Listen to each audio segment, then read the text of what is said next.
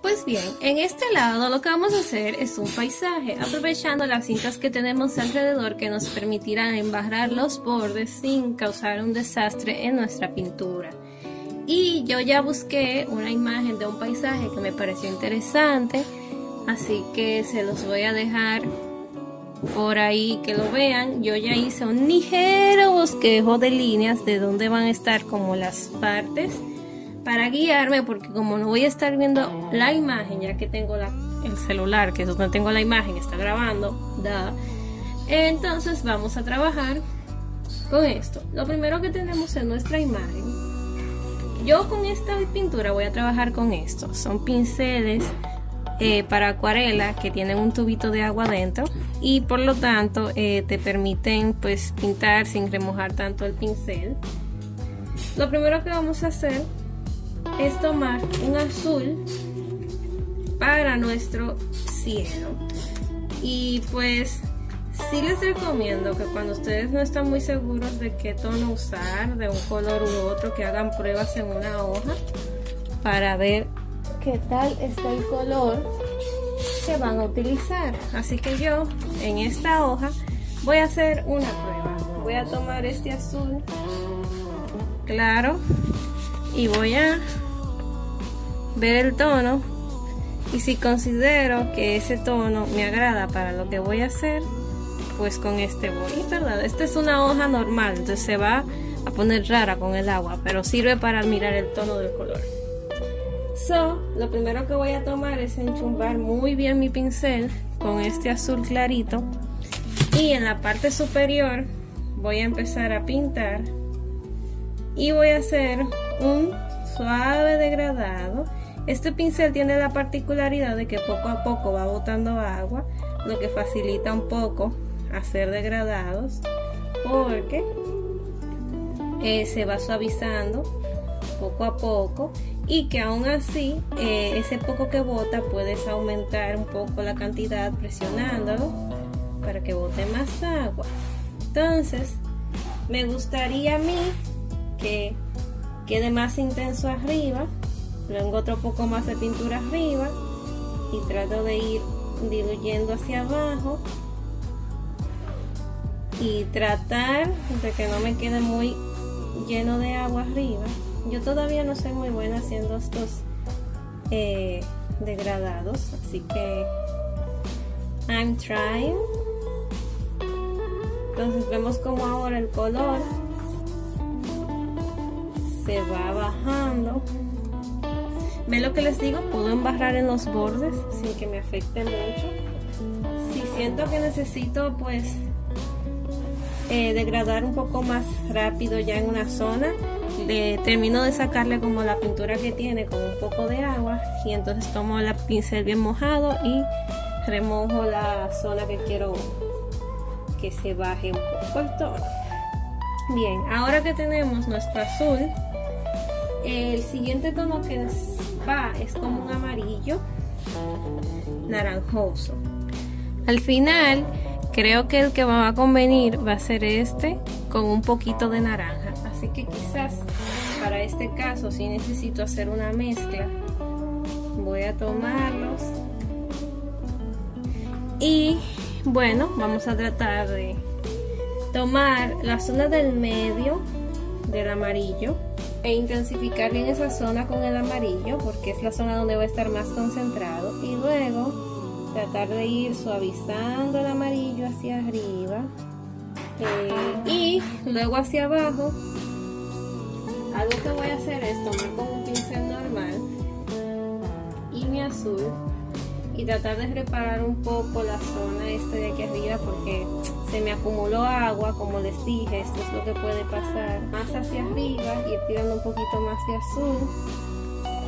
Ahora vamos a tomar el naranja que queremos para la siguiente zona. Vamos a tratar de mezclar hacia arriba. La mezcla entre el naranja y el amarillo usualmente es mucho muy sencilla de hacer Así que ven cómo estoy haciendo como ligeras franjas hacia arriba con el pincel, con un poco de naranja que ya tengo, para acentuar un poco eh, como esta fusión entre los dos colores. Y bueno, ya con eso tendríamos nuestro, nuestro fondo. Abajo lo que van son unas colinas verdosas con un verde bastante oscurito porque como es un atardecer ya no hay mucha luz del sol entonces vamos a tomar un verde fuerte. Trato de colocar todo mi color uniformemente por toda la zona que quiero que esté. Y debemos recordar que como el sol está por detrás iluminando hacia adelante los bordes de nuestras colinas son los que van a estar más expuestos al sol. Por lo tanto lo que van a quedar más claros así que en la zona donde estará más oscuro vamos a ir oscureciendo el color acercándolo al marrón. Entonces aquí por ejemplo va bien oscuro y luego va subiendo y se van volviendo más claras. Esa le voy a poner un poquito más de marrón porque esa de hecho va a estar bastante oscurecida al final de la imagen. Eh, podemos seguir esperar a que seque para entonces seguir dando más detalle porque si lo hacemos ahora vamos a arruinar completamente lo que hemos hecho. Ahora que ya está más seco que puedo pasar la mano por la pintura suavemente y no la arruino vamos a continuar. Y vamos a tomar ahora nuestro naranja que teníamos en el cielo y a oscurecerlo un poco en la mezcla. Entonces con un tono más oscuro vamos a tomar el borde y subiendo todo hacia arriba tratando de mezclar un poco con el naranja suavizando un poco el tono la mezcla con el naranja quede bonita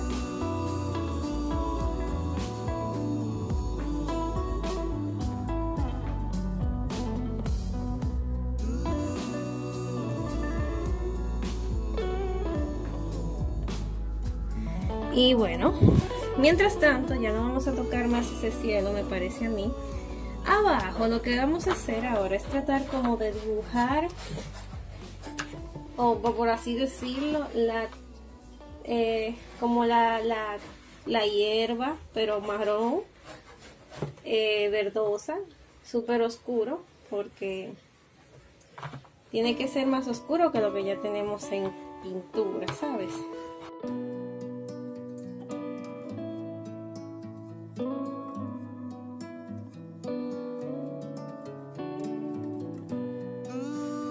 Porque está más lejos está más abajo. Entonces, ya que tenemos esa zona más oscura,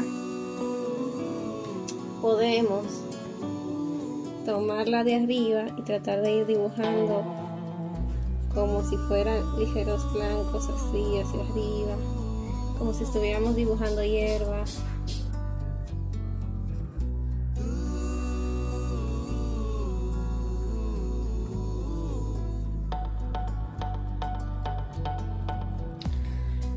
Entonces, mientras más me voy acercando a la zona de arriba, menos rayitas voy haciendo porque allá arriba se supone que está más claro y ya las otras hierbas que podríamos dibujar, deberíamos de dibujarla en un tono más claro.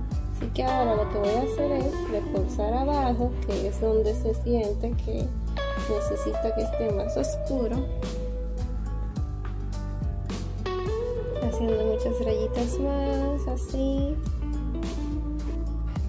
En la zona de abajo vamos a tomar aún más oscuro el tono que tenemos.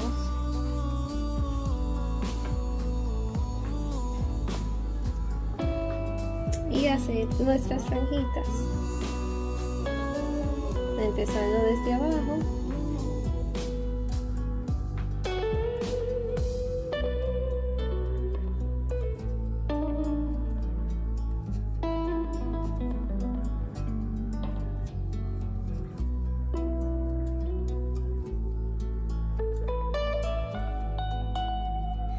Aquí podemos ver como ya hemos eh, hecho gran parte de digamos lo que es la zona inferior y ya solo nos queda esta esquina que esta esquina va a ser un poco diferente en una parte porque vamos a tomar el marrón un marrón súper intenso. Entonces lo que voy a hacer con mi pincel bien enchumbado es que desde aquí voy a tratar de dibujar de hacer como un pequeño relieve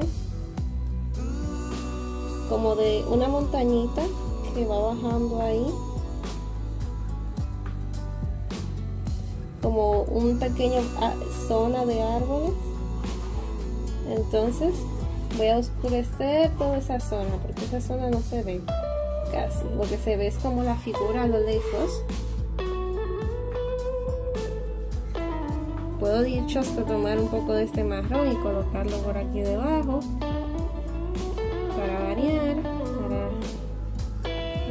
poco más de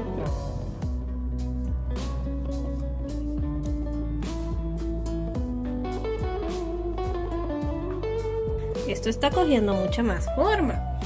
Vamos a ver si en ese fondo de ahí atrás que tenemos, debajo de nuestros arbolitos, de nuestro bosquecito, también le ponemos un poquito de relieve, digamos, que no se vea como que vacío.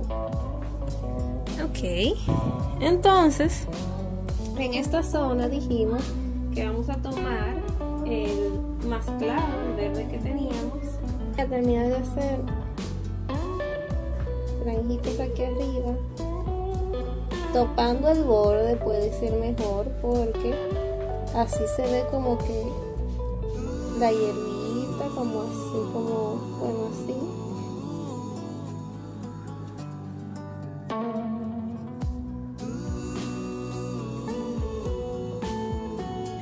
Y pues ahora que ya hemos terminado hay que dejar esto secar y hacer la última pieza de nuestro dibujo. Bien, eh, ya está seco. Lo último que hice fue que tomé este marcador acuarelable y con la punta ligeramente reforcé un poco más los bordes, ¿sabes? Para darle como un poco más de diferenciación entre una y otra, whatever. Y lo último que le falta a la imagen es un árbol que tiene muchas ramas y probablemente como el árbol se ve negro, o sea, es como un marrón negroso, o sea, es muy oscuro, es muy oscuro, es negro prácticamente. Estaba pensando tomar la felpa y dibujarlo, pero no estoy muy segura, o tomar el marcador. Entonces, este es el momento en el que todo se arregla y termina o todo se arruina. Entonces voy a tomar la punta más fina y voy a tratar de dibujar el árbol vamos a hacer primero el tronco por lo menos un poquito aquí a lo como salga y luego tendríamos que empezar a hacer ramas en plan imagina las ramas imagina las ramificaciones tengo que imaginarlas. Esto es muy difícil para mí, me crean o no. Para mí dibujar un árbol de esta manera es como, como bastante difícil. Pero es parte de la imagen, es parte del paisaje. Entonces,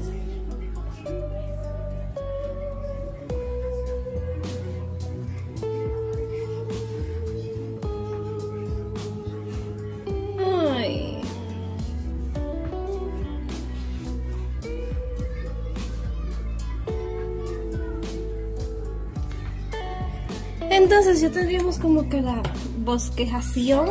Vamos a pintar el tronco para salir de él, la verdad. Entonces...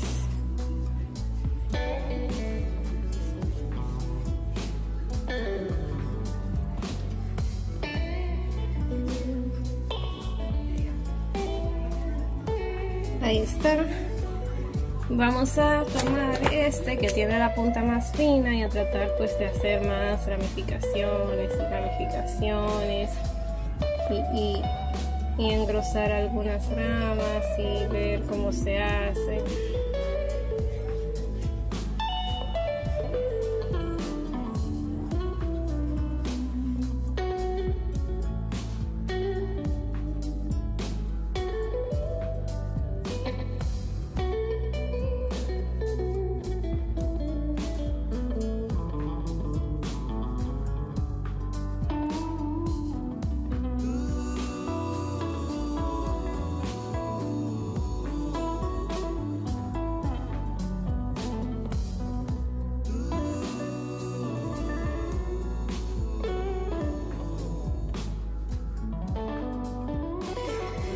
Bien, eh, ya traté de hacer el árbol lo mejor posible. Como les dije yo, realmente no tenía muchas expectativas.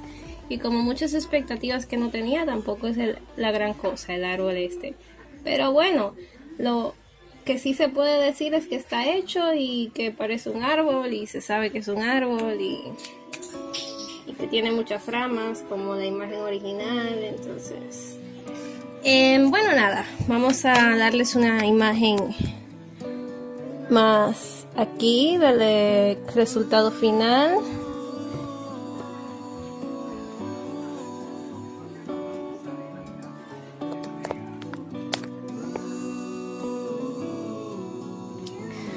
Bueno pues si les ha gustado este video déjenme un like bien grande y vamos a terminar este video quitando las cintas de nuestro dibujo.